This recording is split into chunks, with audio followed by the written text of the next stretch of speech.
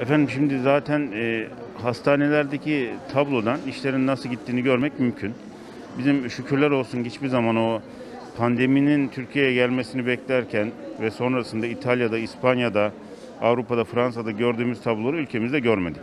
Çünkü oturmuş bir sağlık altyapımız var. Vatandaşımıza hizmete de yetecek bir kurgumuz var Allah'a şükürler olsun. Ancak son dönemlerde biliyorsunuz şey artmıştı. Yani Ankara'daki vaka sayısı da artmıştı. Sayın Bakanımız da şeffaf şekilde bunu sürekli paylaşıyor. Bu dönemde bizim poliklinik sayılarımız da oldukça artmıştı. Çünkü insanlar kendinden şüphelenip bize başvuruyorlardı. Bende de var mı acaba? İşte komşumda çıkmış bana da bulaşmış mıdır acaba diye. Biz de kişileri tetkik ediyorduk. Eğer varsa da gereğini yerine getiriyorduk. Bizim poliklinik başvurularımız son iki hafta içerisinde %50'den fazla düştü. Yani eski değerlerin yarısının altında şu anda. Servislerde ayırdığımız yataklarda o zaman da ciddi boşluklarımız vardı ama şu anda daha büyük boşluklarımız var. Şükürler olsun. Diyoruz ki hep bu pandemiye ayırdığımız yataklar hep boş kalsın istiyoruz. Yoğun bakım noktasında yoğun bakım hastaları servis hastalarına göre biraz daha uzun yatar. Ama orada da bir boşluğumuz var şu anda.